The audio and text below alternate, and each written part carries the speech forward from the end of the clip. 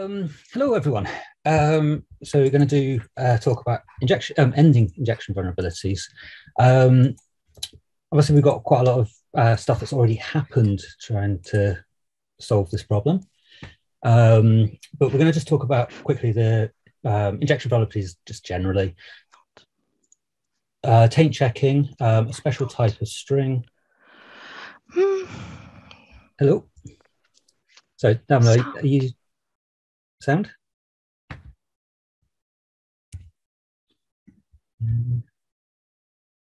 Yeah, I'm unmuted. Okay, fine. Okay, uh, okay. So right, yes. Um, so some taint, taint checking stuff, um, but we'll move on to like a special type of string, um, handling some oddities, um, examples in Go, Node, JavaScript, Java, and PHP, the future, and in uh, ten years' time. So the main thing uh, we're going to be talking about is uh, distinguishing strings from a trusted developer from strings that may be attacker controlled. Um, now this was a statement that Mike Samuel made um, in one of the uh, JavaScript rep uh, repos. Um, and it's kind of a key um, thing for, I am sharing the wrong slide. okay, sorry. Um, this is not going well. Sorry, give me a second, switch over stop sharing. Do that. Okay.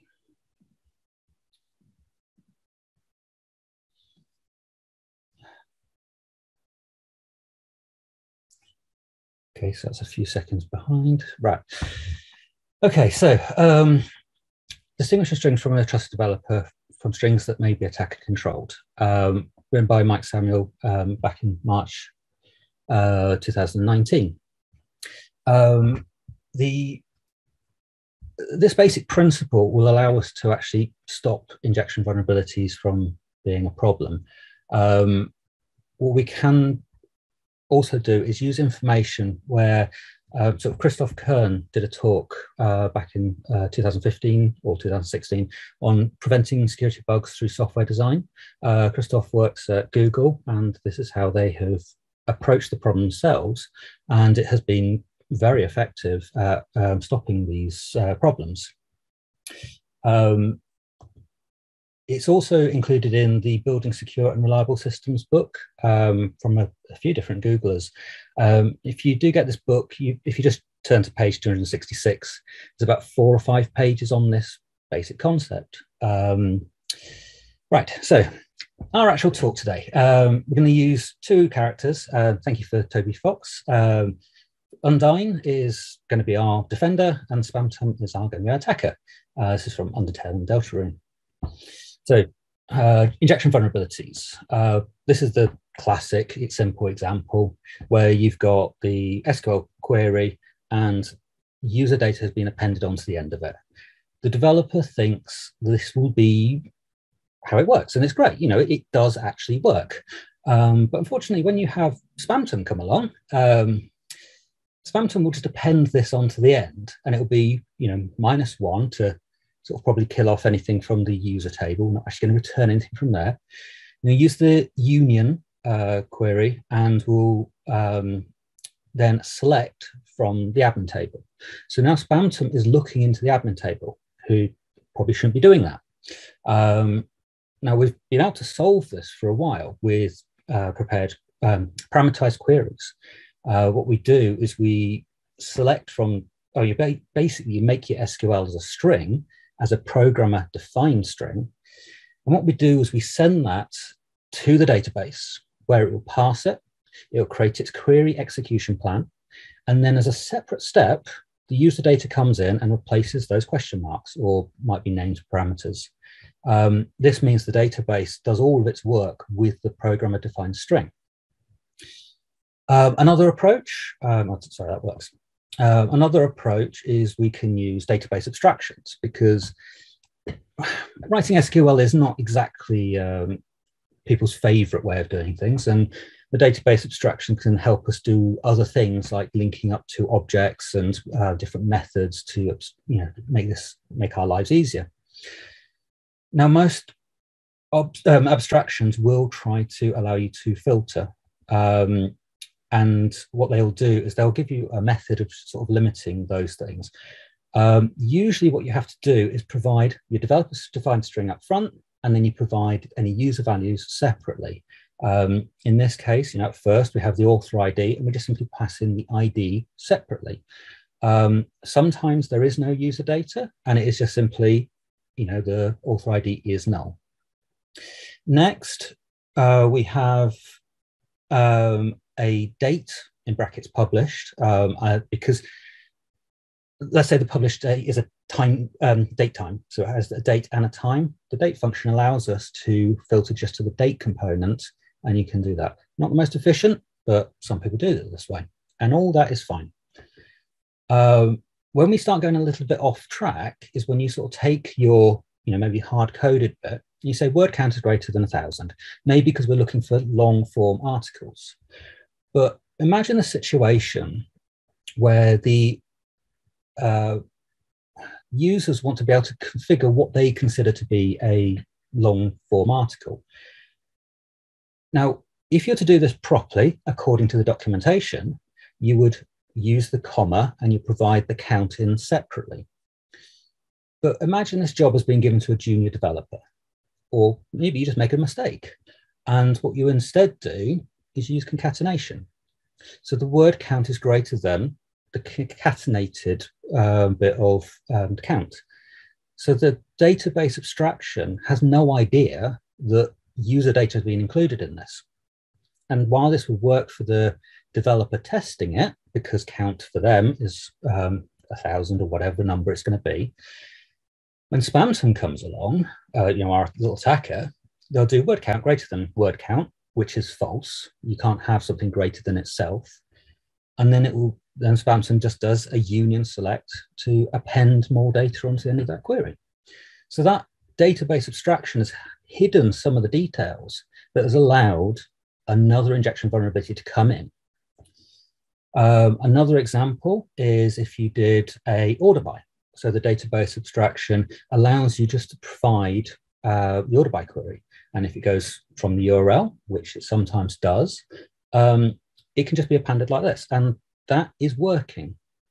But if Spamton's coming along, they might do this. Now, I quite like um, the uh, order by problem because order by is limited to what it um, what it can and can't do. You can't easily do a union onto this. But what you can do is do it character by character extraction of the data. Um, the way to do it is you do select one from admin where ID equals six. And what you're doing there is you're saying, I'm, you know, the attacker is focusing on one thing. Um, sorry, two seconds. Um, Okay, right, sorry. Uh, let's go back to this. Okay, so yes. So we're going to select from the admin table where ID equals six and the password is this. Why this query is quite fascinating is because if it doesn't return any rows at all, that's kind of zero-ish. If it does match something, it becomes one.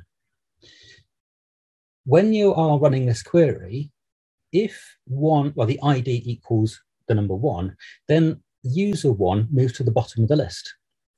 Um, so in this case, let's say the ID does not match. Amy Anderson, who has an ID of one, does not move. Reissue the query with a B, and let's say it does match. Suddenly, Amy drops to the bottom. And now you know what the first character of the password field is. Um, and then Spamton will just build up over and over again. Um, Spamton probably wouldn't do with ABC, probably start with S, uh, most common character. And then once you get a few characters under the belt, we start using words and things. And obviously, you know, we know not to store passwords in plain text, but you know, it's just a nice, easy example to show how an order by can be exploited with a database abstraction. And people aren't thinking this is going to be a problem when it is. So going from SQL, we've got some HTML, this is your classic um, HTML uh, encoding problem. Um, what we're going to do is just basically do that. Um, Spamton just puts in the script tag uh, and is running the evil alert. Um, how we deal with this is we use templating engines. You either get your HTML template from a file, or in this case, we're going to use a string, a programmer defined string. And you put that in the first argument, and then you provide the values separately so it can be filled out. Uh, this is how it works. Um, you do have to be careful that your templating engine is actually context aware. Some templating engines are much too simple for this. Um, but for example, if you're putting a URL into a, href, that href attribute should not contain JavaScript. Um, and that's why a templating engine needs to be context aware.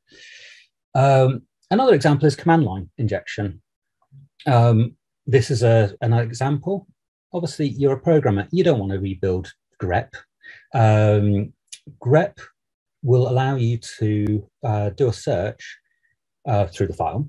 Uh, but in this case, we've not escaped the value. Uh, we just included it.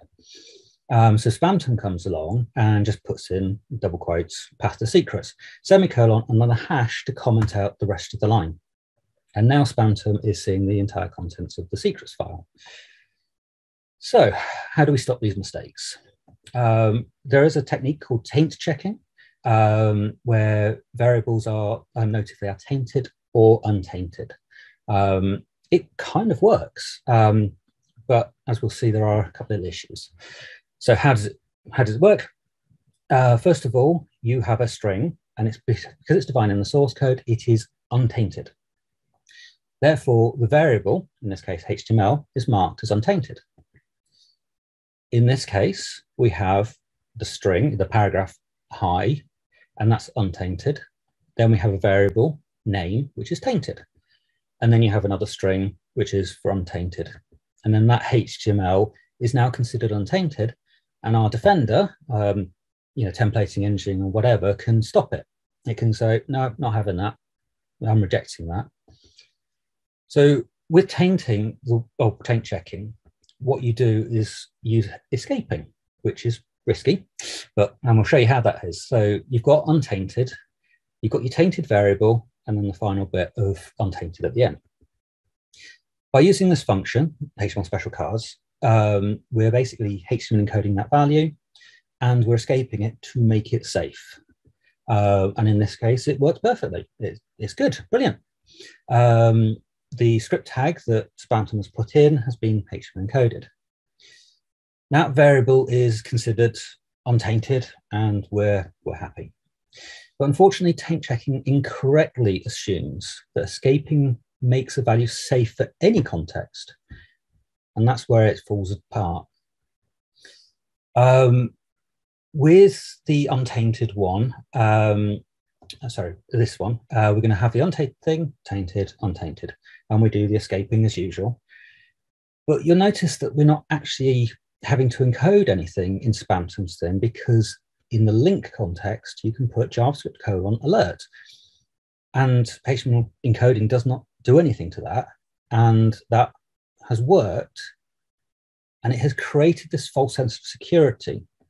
Um, because now the HTML is considered um, untainted and it's safe in theory.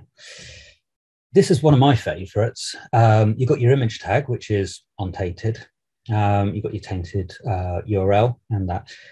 The thing that sort of trips people up is they think, well, it's image, it's the SRC attribute. You can't put any JavaScript in that.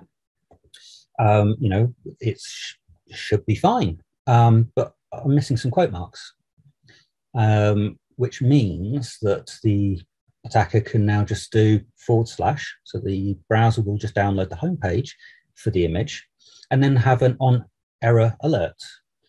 Um, there is a mitigation you can put in place called the content security policy, um, but that's an, another topic. Um, it has still allowed this to happen. This is still a problem um, because the escaping is not context aware.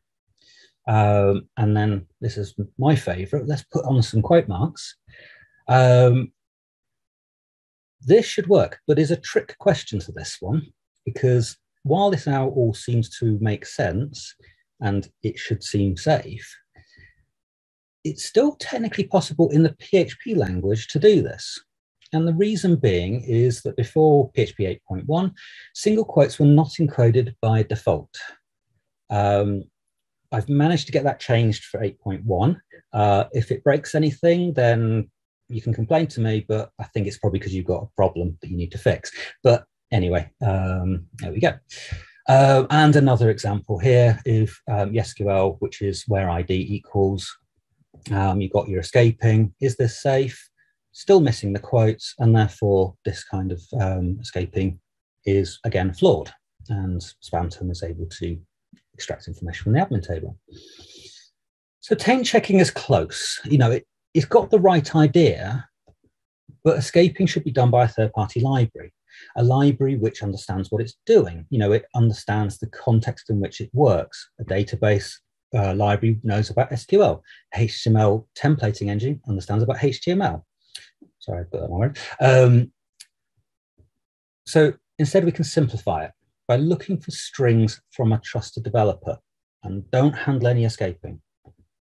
Or in short, safe versus unsafe. Safe when talking about injection vulnerabilities, and that is kind of important, um, is a string defined by a programmer, as in in the source code, and everything else is considered unsafe. So we go back to our prepared um, parameterized query, and that is safe. The ID is unsafe, but they're provided separately, so it's good. Everyone's happy. If the developer had made a mistake in their parameterization, uh, they would do this the safe versus unsafe together, that is considered unsafe. And then our database abstraction can reject that. It can go, no, not having it. It has been damaged by a value that was not written by a developer. Uh, same with the HTML template engine. You've got safe string, your unsafe string. That's good. As soon as you do something wrong, you know, the developer's made a mistake. You know, you've got your safe, unsafe, is that, and then the um, you know, the, te the templating engine can go, no, not having this, I'm not accepting it. And same with the command line, keep it your developer defines strings separately from the values from the user. And again, that is work, fine. Go back to the mistake that we made earlier, um, where we just put in the user value.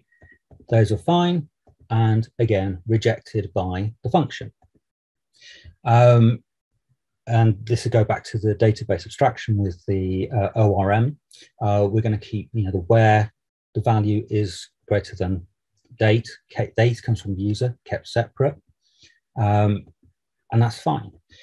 But again, I'm just going to stress this. Remember, we're only talking about a safety in terms of injection vulnerabilities. If Spamton had put in a value of zero zero zero, you know, basically year zero, um, the publish date is greater than zero, which basically means everything. And a select statement probably not means anything, but for example, a delete statement, you might be deleting a little bit more than you can think of. That is not really a problem we can solve. That is very much a developer having to choose their boundaries. We are focused on injection vulnerabilities here. Um, and to make it, that point even clearer, um, same thing again, string, it's safe versus unsafe. That's technically fine, but as soon as you allow Spamton to specify the path and that path becomes just a forward slash, you get the classic rm-rf forward slash. And yes, I know RM doesn't actually do that. For a lot of the times now, you have to put in a special flag to say, yes, I want to destroy my system. Okay, so uh, dealing with special cases, because um, it might seem like you can't always deal with everything. So the classic one that comes up when this conversation happens is the where in clause or the, the in uh, operator. You say where ID is in this list of IDs, and you'd typically give it a list of IDs to deal with, and it will return those records. Um, this is a nice and quick way of doing it, but you are technically allowing user values into uh, the SQL, and this can be dangerous, um, especially if you don't remember to ensure they are all integers. Um, if you don't, Spamton comes along and puts in whatever they like uh, into this. Um, and if you start looking at large code bases which do this, it is surprisingly common how often that actually happens, where the values that have been imploded into the where in haven't actually been converted to an integer. Uh, if you look at uh, WordPress, for example, there's a few cases there. Fortunately, they have other mitigations in place, but it's not exactly consistent.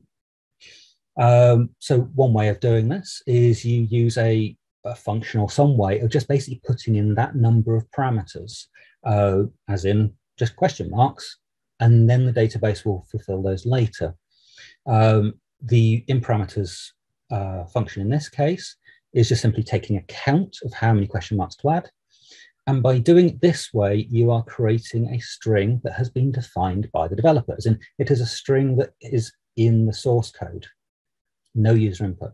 Um, if you want to get fancy, you could simplify this a little bit by using an array fill type function, where it will build up an array of that many elements of question marks, and then it will implode them or, or join them together with a comma. Um, as with anything like these, you've got to be careful with no IDs, but that is going to be always a problem no matter what. Um, the other one that comes up is table names and field names. Um, these are problematic because they can't be parameterized. They can't go into the parameterized bit. They need to go into that original SQL sent to the database first. Uh, so, you know, it's quite tempting to put them on. You can escape them to make sure it is still a field. Um, but should you allow any field to be in your SQL? Can the attacker order your, I don't know, list of contributors by their email address? Um, you know, it's probably not the field that you want to allow them to, to sort by. So one way around this, or one way you should be dealing with it, is you have your allow list. So you have an array of allowed fields that you can order by. And by using this array-like structure, you can first of all, you can sort uh, search through it. So the order field variable there is saying what the user would like to sort it by. You search through that array to see if you can find it. If you find it, then you bring back the index for it, which is where you get the order ID uh, variable. Uh, so if it's ordered by the email field, then that would be one because we're zero-based indexing. Um, and then when you come to do the actual order by, you reuse that array of programmer defined strings to pull out the one that you want. Um, and therefore you now have a nice clean thing, which ensures that you are only allowing the ordering by certain things. Um, and that's the way do uh, there is one other thing, which is the config values, which come from you know INI files, JSON, YAML, because they've come external. The programming language can't say that I was a programmer-defined string. Um, in these cases, uh, well, we'll have to cover that in the next section. Uh, but in short, the library needs to handle these safely. They, they need to know what they are and to handle it in its own way. Okay, so um, ending injection vulnerabilities in Go. Um, Go programming language is probably the only one that I've found which can do all of this by itself with no dependencies. And it's quite simple in a way um, once you've got your head around this first little bit. Um, I'd like to thank uh, Dima, who checked over my code because I'm not a Go programmer, and Roberto, who worked on the Go Safe HTML library, who kind of wrote up this uh, description. So um, first of all, we're going to look at the code that would be in the library. So how would the library go about this? Um, first of all, they make a package in Go and they create a type of string constant and it's a string. Um, you'll notice that it starts with a lowercase s. Uh, in Go, that means that that uh, is not exported. So anyone using this library won't be able to uh, use it. Um, then moving on, we have a method that the library provides to code that's calling it. You notice this one has a capital O at the beginning. That means it is exported so anyone can use it. Um, and as its input, the thing it takes as its first argument, and in this case its only argument, it's saying it needs it to be a string constant, as mentioned on line three, the defined thing. So we'll put that to the side, and now we'll look at the code that the user of that library is going to write. Uh, first of all, we have some basic code for just simply getting the person's name. It just says, you know, what's your name? And it just reads it from input. This is our way of testing that we are working with untrusted data.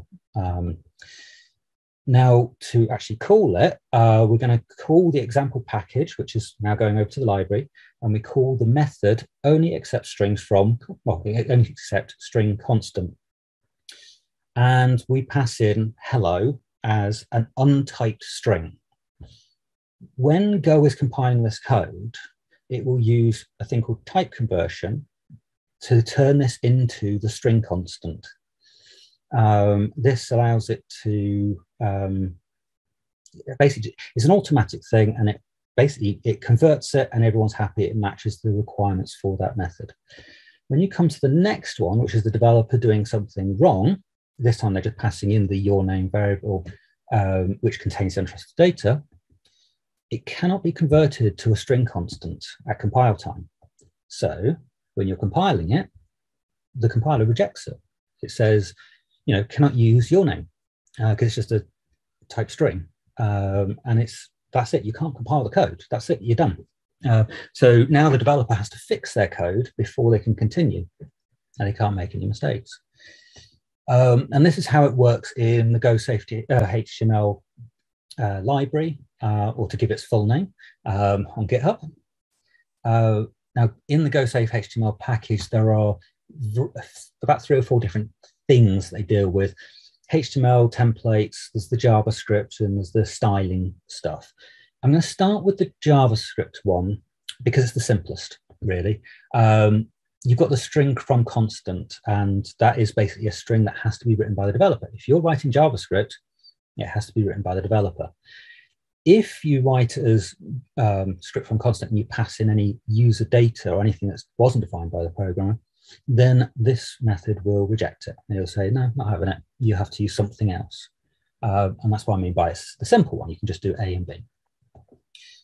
When you come to the HTML side of things, uh, you go to the template uh, package first, and you say a method of must parse and execute to HTML, and then you put in your untyped string um, of hello. Um, safe HTML escaped is the second line, and that's where you take the user value and you put it in, and then the variable, the third one, C, um, finishes this off with a closing paragraph tag. And then we use the safe HTML package to then concatenate those three things together. And that's how you do it correctly. Everyone's happy, all good.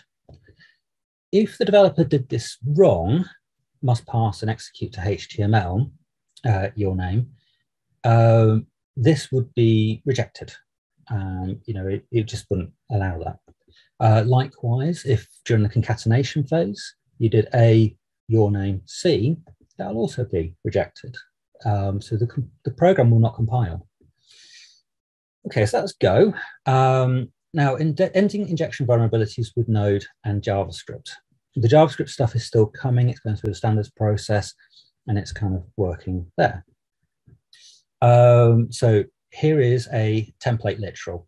This has probably caused quite a lot of problems um, over the years because it made it even easier to do the wrong thing because you it makes it easier to include a value without any kind of escaping at all.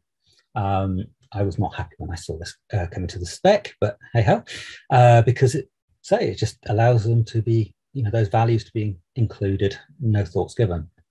However, there is a thing called tagged templates, it uses the same principle of using a, the backticks for, for templating, but it uses a function called, in this case, I'm naming it my template. You define the function as such. The first argument is uh, receives an array of the pieces that make up the template. And then from that point on, you have your values. Um, if you just console log them, it is just simply an array uh, like that. Um, then when you do the values, that's your additional arguments, they come in. And it means the function, my template, could actually build up uh, the HTML template or the content, knowing the context in which every variable was used in. There's a small snag to this though. Um, the developer could use it wrong. I don't know if you noticed, but it's not usual to see a function being called without the brackets around it. Um, so I've seen it before now where the developer has gone, well, that's a function, so I need to put brackets around it. And then they'll complain it's not receiving an array, and then they put array brackets around it. and therefore, what the function receives is basically a, the everything inside the first part, which is what all the developer defined strings are supposed to be, and nothing in the second array. Um, another approach that I saw, um, same project, uh, they'd actually split it out into separate parts in the array, and there it goes like that. Um, the solution to this is a function that's been developed at the moment. Um, there's a polyfill in Node, and it's being specced at the moment in JavaScript, where it's basically is template object. It's a really simple function, and it just simply says, is that first argument from a template? Um, and if it's not, then you throw uh, a mistake. So in this case, where it's been used correctly, all good, everyone's happy. And in this case, it was not uh, provided as a template object and therefore it's able to reject it and you get an exception thrown. Um, how this works in Node, first of all, you install is template object, which is a, um, it's a polyfill for now. Um, hopefully later it will come in. Um, and it's made from uh, Mike Samuel and basically just have that function. Everything on here is basically what we were showing earlier. Uh, when you run it, you get the true for the passing one and the two falses for the failing ones. Uh, because you know it's, it's worked as it should do. Um, so you can do a little bit more and you could throw exceptions or whatever. Uh, this is coming soon to JavaScript. Um, it's a proposal uh, in the TC39 group at the moment. Um, and I'd like to say thanks to Christoph, who's helped me uh, talk this through, and again, Mike Samuel for sort of starting this off. Okay, so a different approach. Um, Node um, also can use the, well, the Google Closure library. Um, first of all, you have to install it. Um, and this one is basically you require that library and you include the goog.string.Const uh, thing. Uh, here's our getting the name, the untrusted data. And while using the goostring const from method, um, it will check that it has come from a, um, that it is actually a programmer defined string.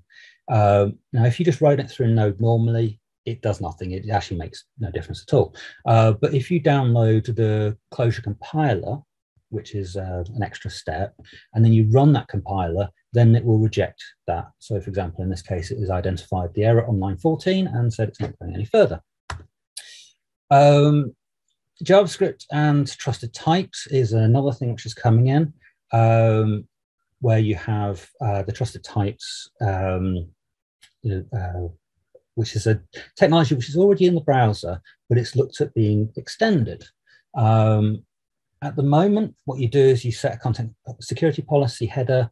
Um, you say that trusted types are required for the script uh, environment, because in the future we might have CSS and everything else. Um, and we set the types to none for now. This code is fine because the output uh, element using the text content API is a perfectly safe API. It is a good, good uh, API to use. But inner HTML is not safe. It is one of quite a few different APIs which are dangerous. Um, it's very easy to make mistakes with it. So trusted types allows us to, by default, block the use of these dangerous APIs. Um, the way around it, if you really do need it for those few cases, um, is you make a trusted type. The reason this is quite useful is it means it's easier to audit um, so that the browser basically ensures that you're using it correctly most of the time, but when you're auditing the code, you just look for uh, these policies. Uh, the policy is very much uh, just a JavaScript object. Um, it's our trusted type, and it just simply has a few methods on it. You only have to have one. Um, now, in this case, I kept it simple by just simply returning the value, not doing any uh, checking on it. That kind of this is the point really. Uh, you should be using something like DOMPurify or the new Sanitizer API, which has been developed at the moment, um, to check it. Uh, once you've got that set up, you tell the browser that you trust this object for trusted types. And it's creating a policy based on that. Uh, you need to specify this in the header to say, you know, this is the one I'm going to be using. And then when you actually go to use it, as long as you use that method of my trusted type create HTML, it's allowed through. Um, now, that's a quick tour on trusted types, but you'll notice there's a lot of code here for something. So this is where things are going to be working. What we're going to be looking for, hopefully in the future, is trusted types dot from literal. Because if it's written by the programmer, then it can be allowed through. Who cares? Uh, you know, it, it, we trust the, the programmer, and as long as it's defined in the source code, there's no chance of, in this case, a DOM-based cross-site scripting vulnerability. Okay, so that's the JavaScript and Node stuff. Uh, now we're going to look at Java.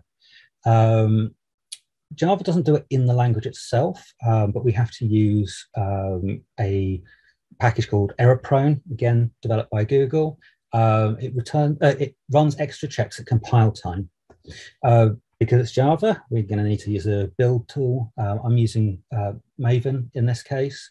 Uh, so I include that as a dependency, and then I set up the compiler configuration, all of which is set up on the um, or described on the uh, the website. It does install a few dependencies, um, but once it's running, all you have to do is you import the annotations, the com compile time constant annotation, and then for your for the libraries public methods, it will specify compile time constant for those sensitive strings. Uh, and it's just simply at compile time constant. And that's it. So when we actually start using this, we get the user data, the untrusted stuff. Um, and if we call a sensitive function with a compile time constant, it's fine. It's happy with that. But if you do it with a user value, which is not programmer defined, um, then the compiler will complain and it will reject it. It says, no, not having that. Um, there is also for Java a, a project called Google GWT, um, where there is a safe HTML from safe constant method. I couldn't get this working, and I have a feeling this project might have been abandoned quite a while, considering they haven't actually even updated it to use HTTPS, which for a Google project is mm, questionable. Um, with C++, um, I couldn't really work out how they were doing it. Um, if you're looking at the Building Secure and Reliable Systems book that I mentioned at the beginning, they do make the statement of using a template constructor that depends on each character value in the string. Um, that was it. That's all they said. I have no idea what they mean by that. Um, and also Google have a document saying about using safe HTML types as an overview. And this was basically the statement they made, and that was it. So I'm just going to go, um, I've got nothing to go with that. So um, ending injection vulnerabilities in PHP. Um, this is done through static analysis. Uh, so you run this as a check over your entire project before you publish it. Um, this one I'm going to start off with using Psalm. Um, and I'd like to thank uh, Matthew Brown, who put this into uh, Psalm uh, a few months ago. Uh, first of all, you just install it. Um, you just typical composer. Um, it installs all its dependencies. Then you initialize Psalm. Uh, you need to make sure that the Psalm is at a level three or stricter, where level one is the most strict. Um, and when you actually are, you know, as a library developer, you define that certain uh, arguments for your methods are um, literal strings. That's the type you particularly want, um, as in it was defined as a literal. Um, so when you actually are using this library, uh, the code at the bottom, when you actually concatenate in the user value, that is rejected. And in this case, uh, will uh, error for you or complain. So that's not good enough. That is no longer a literal string. Uh, when you look at PHPStan, um, which is another static analysis tool in PHP world, uh, I'd like to thank Andre for adding this uh, again a couple of months ago. Uh, again, you install not as many dependencies, PHPStan has a slight difference here. Um, you need to be five or stricter if you're only taking a single type. Um, so you're only accepting literal strings. It has to be seven or stricter if there are multiple types involved. For example, you're saying a literal string or an array, something like that. Uh, and this is inverted. It's level nine is the most strict at the moment. Um, and it's pretty much exactly the same. You say the type is a literal string.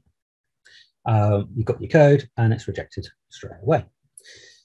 So that's kind of what we can do today. Um, the future you know, how future programming languages can help. The thing that I would like to point out is static analysis, while it's a great tool, is not used by most developers. Uh, JetBrains did a survey um, early part of this year, and PHP developers was about 33%, um, used it, uh, 66 not. Um, a little bit more for other languages, but it seemed to be about the same. And while I'd like to say that was good news, you know, the third of developers doing it, I kind of feel like this survey is a little bit biased because it implied that most PHP developers are Laravel developers, which is a great framework, don't get me wrong. But if you look at the um, the world of you know how many websites are built in Laravel, let's just say WordPress might be a little bit ahead uh, on a global scale. So the number of developers on a, a much wider scale might be a bit biased. Um, so I would suggest that maybe it's less than a third of developers use static analysis. And also remembering that people we actually care about the most, the ones who make the most mistakes, are probably not using static analysis either. So uh, last year, we put together an is literal RFC for PHP. Um, and I'd like to thank uh, Joe Watkins and uh, Matty uh, for doing that. Um, Joe did the implementation um, and Mate uh, did the performance checking because we want to make sure we're not going to cause any problems. Um, unfortunately, it did fail, but that was mostly down to communication issues and uh, concerns about performance, which didn't turn out to be any problem at all. Um, and also because we put the vote up on the last day of um, before feature freeze, and people got a little bit uh, unsure about it. So it is readable. The RFC's there. The um, implementation there, you know, the patch is also there, and it works. I'm using it on my machine, and it has been fantastic. Um, it has no dependencies because it's actually built into language. Uh, it, it is actually easy to use. Um, there's no need to use static analysis, but it works very well with it because once the static analysis knows that it's there, it's all good. Um, and it works with existing code and libraries. So some of the things you saw earlier, for example, the Go stuff, it would have kind of required people to rewrite stuff into using query builders and you know just working a different way. Whereas a lot of code today does use concatenation and it's concatenation of developer-defined strings. Um, so there we go. Um, and also the advantage of using a function like this is you can choose how to handle the mistakes. Um, you know, you could log to a file, you could write to a database, call an API, throw an exception for the really paranoid people, or do nothing if you just don't care.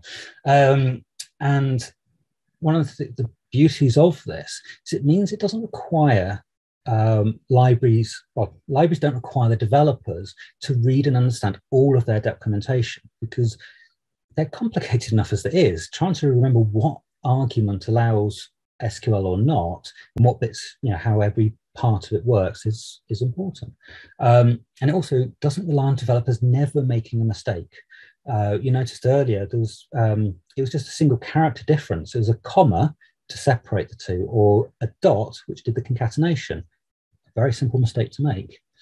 Um, and the other advantage of this is uh, developers will be right, warned as they write the code. So you talk about people pushing left for their development practices.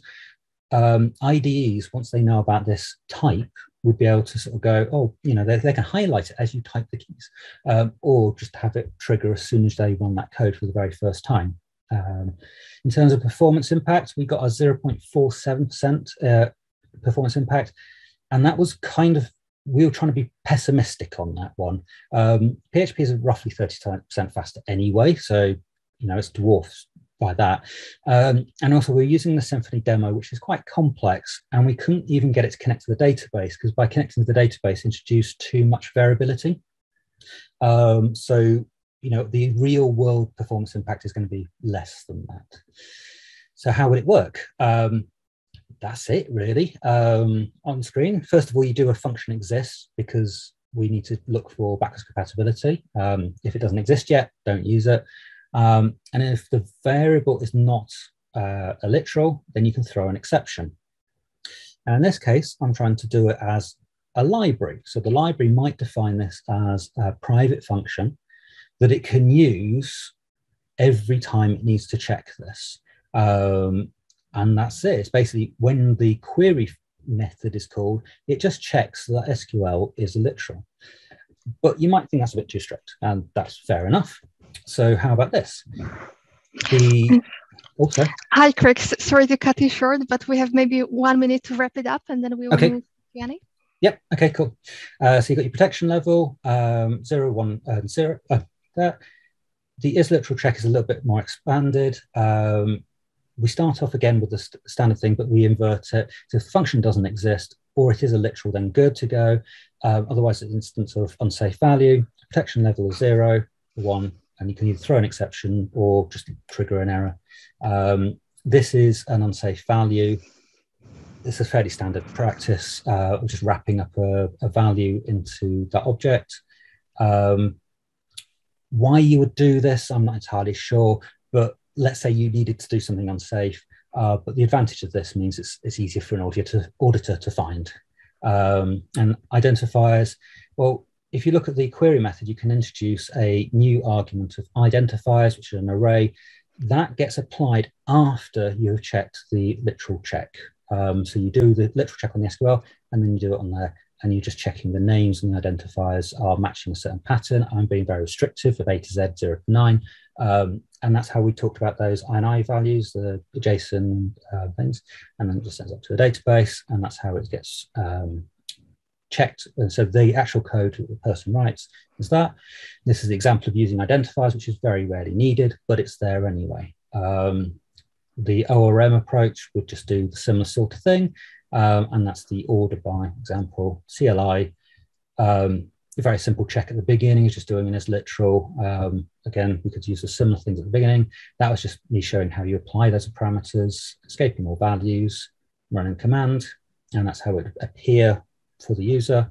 Uh, first argument is checked, and that is good. If you did it wrong, it would be rejected, and we're good. HTML, same, same. And move on from that. Uh, this was a 300 line example of how to do a templating engine uh, like that.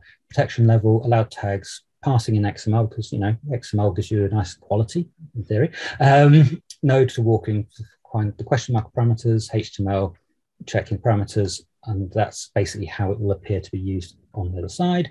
Um, that's good. Span, you can make templates use reusable. Um, that's including the HTML. That gets rejected. Uh, this one is fine when it's a normal link, but it's rejected when it's a JavaScript. Um, and here is an example of that. So, and, and I'm going to sort of skip over this one because that's future stuff. Um, yeah. Thanks. Okay. Thanks. Thanks very much. Uh